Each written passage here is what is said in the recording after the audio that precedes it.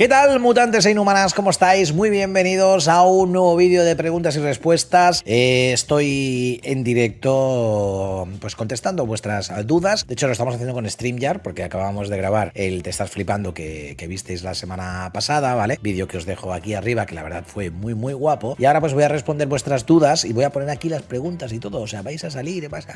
adiós, adiós, hola, hola. ¿Vale? Podéis saludar a papá, a mamá. Así que vamos a empezar. Bienvenidos, mutantes e inhumanas, a Stream Marvel.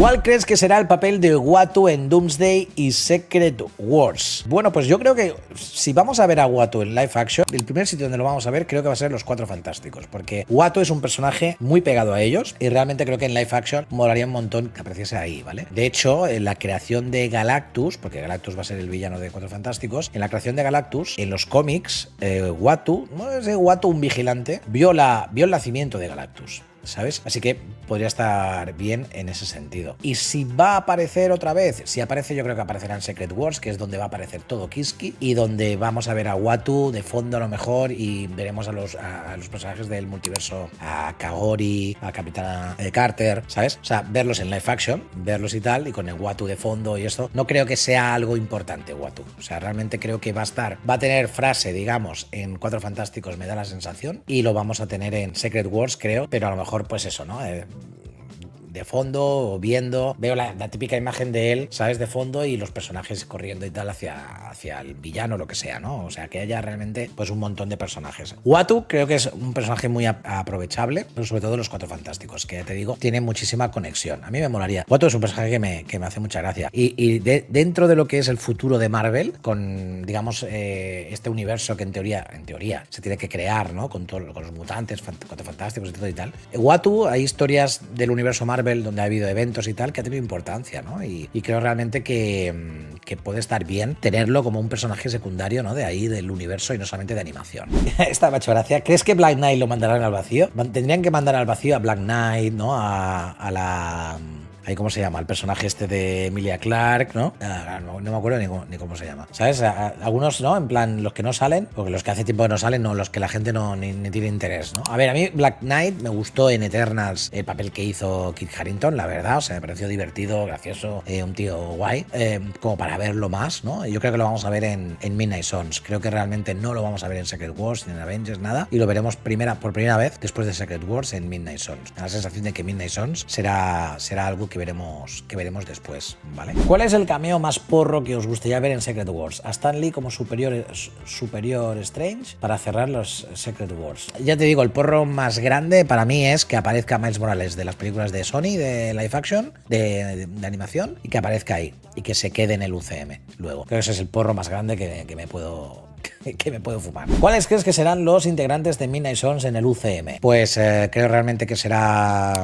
Caballero Luna, Blade, Man Thing, El Hombre Lobo, Elsa Bloodstone, eh, Agatha, Wong, puede ser, o Doctor Strange, y para acabar ahí que sea alguien importante en la película o que aparezca por primera vez ahí, Ghost Rider. Y Black, Knight, que ya me he olvidado, que he dicho antes, y, Black Knight. O sea, yo creo que, que será un equipito bastante grande, como para poder hacer una misión y que se puedan dividir, ¿sabes? Que, que haya un grupo que vaya a un lado, otro grupo que vaya al otro, ¿no? Tipo Vengadores. Así que en ese sentido yo creo que, que puede estar bien. ¿Qué harán con los objetos de Kang? ¿Lo utilizará Doctor Doom o se quedarán ahí sin más? Pues lo más sensato es que si no vas a utilizar a Kang ya, que eso lo trabajes para el futuro.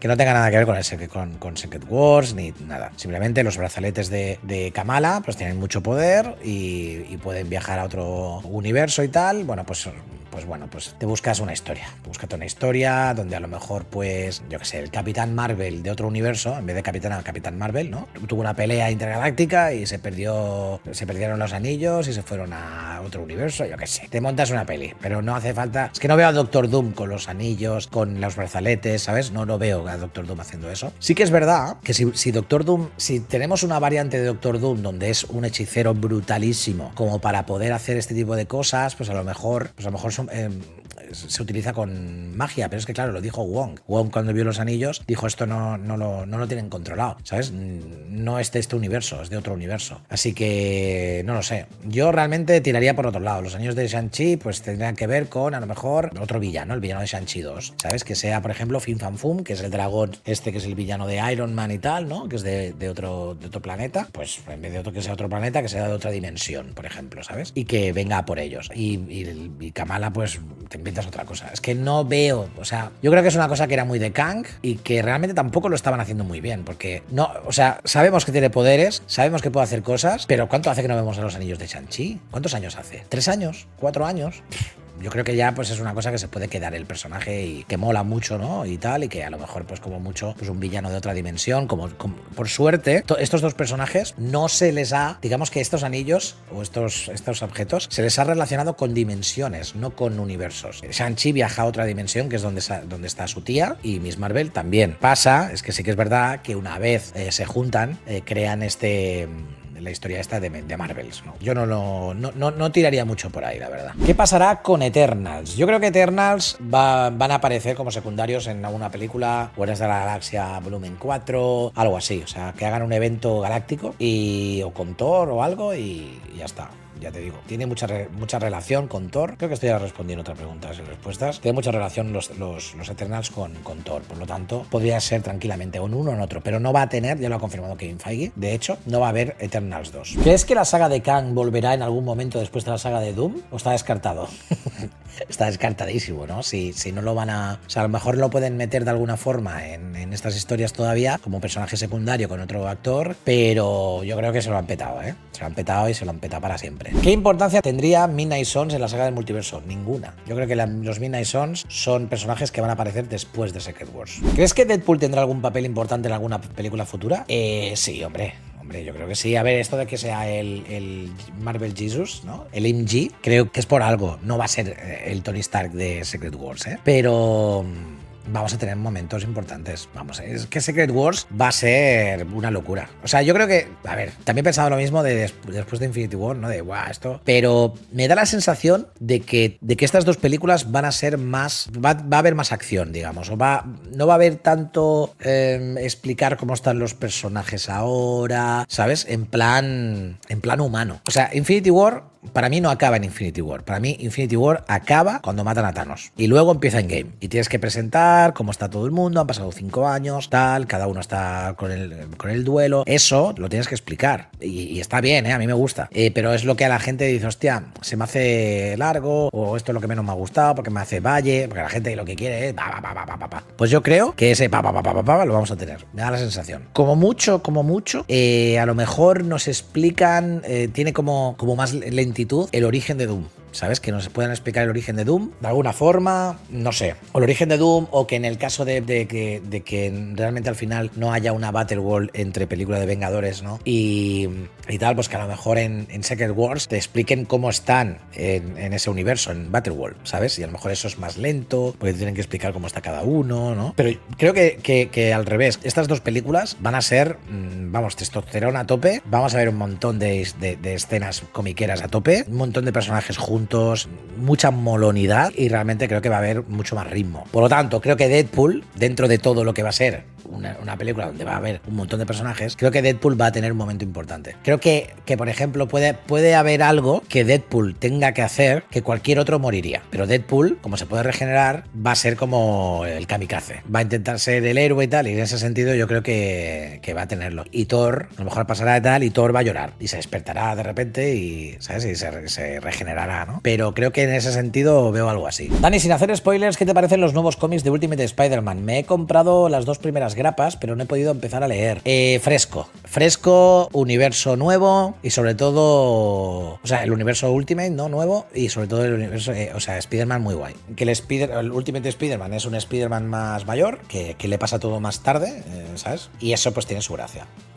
Pero muy bien. ¿Crees que alguna peli tipo Young Avengers se podrá convertir en una serie? Armor Wars, ¿no? Armor Wars pasó de serie a peli y ahora otra vez de serie. No, yo creo que no. De lo que hay ahora mismo, Shang-Chi sería, sería una bajona para el actor, yo creo. Pero yo, yo si tuviera... Lo que pasa es que a mí me gustó mucho Shang-Chi 1. Me gustó mucho, mucho, mucho. Y creo que tampoco es bueno que todos los personajes que no son los típicos no tengan franquicia, ¿sabes? Alguno, vale, Eternal se lo han cargado, pero, pero Shang-Chi yo creo que podría tener. Pero realmente es un personaje más secundario que cualquier otro y podría tener tranquilamente una serie y tal, ¿no?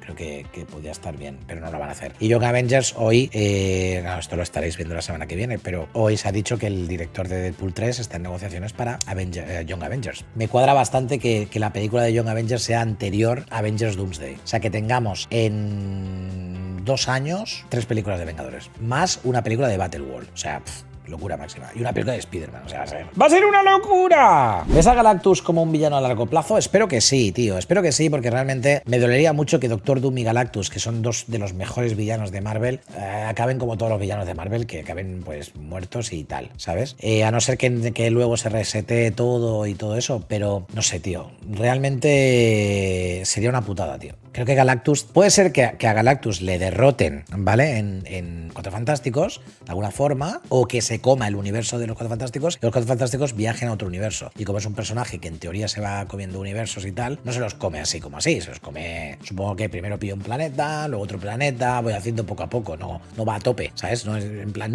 y se lo come todo, sino que se los va cargando. Durante miles de años acaba con universos y ha acabado ahora con el universo de los Cuatro Fantásticos, por ejemplo. Pues deberá de llegar en algún momento al 616, por lo tanto puede aparecer mucho más tarde. Yo espero que sea así y que no aparezca en Secret Wars. Ya es demasiado ya.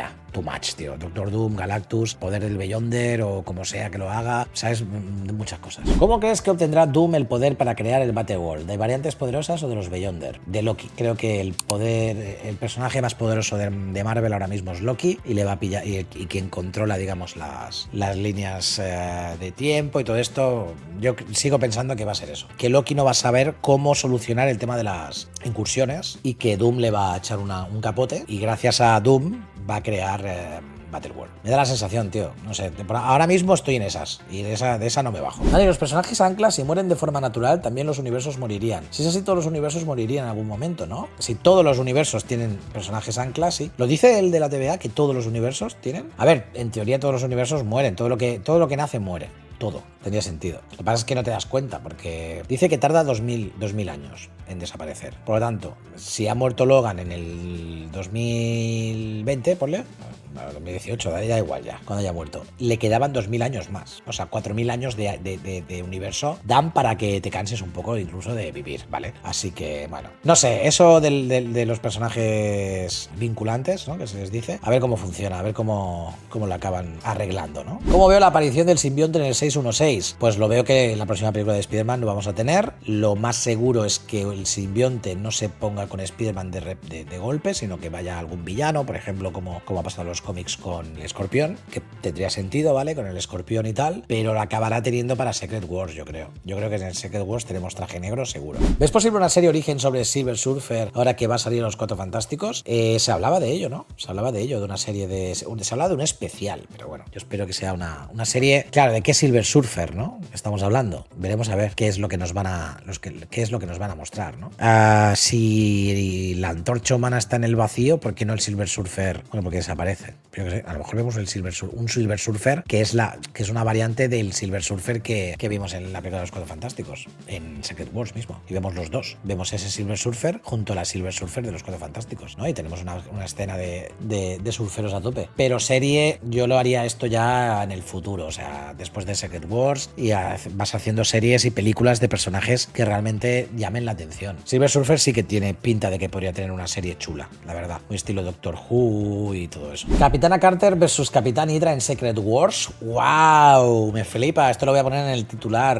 Ostras. A ver, a mí, Capitán Hydra, eh, el Steve Rogers malo y tal, me molaría verlo, pero. Sí, me molaría verlo. Sí, sí. Sí. Lógicamente quiero ver al Capitán América típico y tal, ¿no? De, Chris Evans, Steve Rogers y todo bien, siendo bueno. A lo mejor es too much, ¿eh? Ver al actor de Iron Man siendo malo y viendo al... O sea, es como, hostias. Pero me molaría mucho, tío. Me molaría mucho. Una pelea contra Capitana Carter estaría muy guay. De hecho, esto lo dije cuando vimos la primera temporada de What If, que realmente pensaba que, que tendríamos al Capitán Hydra como villano, siendo el Bucky de ese universo. Hubiese estado bien, hubiese molado eh, una especie, una mezcla ¿no? Entre Soldado de Invierno y Capitán América malvado. Podrían haber tirado por ahí y no sé, no sé, no, se han atrevido, ¿no? Bueno, mutantes humanas, ya está. Hasta aquí el vídeo de preguntas y respuestas. Ha sido un auténtico placer contestarlas. Creo que la verdad, pues mm, ha quedado una noche guapa entre el te estás flipando y las preguntas y respuestas. Creo que, que, muy bien. Tenía ganas, tenía ganas de volver a estos puntos. Hemos tenido casi mil personas en Twitch. Eh, esto hace unos meses no pasaba ni de coña, porque creo que la gente pues tiene al menos interés, ganas de ver qué pasa, ¿no? Y en ese sentido, eh, en ese sentido sí que Marvel ha vuelto, pero ha vuelto a crear eso. Pero Marvel siempre ha estado y, y yo siempre he estado aquí con vosotros. Cuando ha estado bien, cuando no ha estado bien, cuando ha estado menos bien, cuando todo. Siempre estoy aquí y siempre estaré aquí. Mutantes inhumanas. Así que like, suscríbete, viva Marvel y a tomar por culo. Venga, va.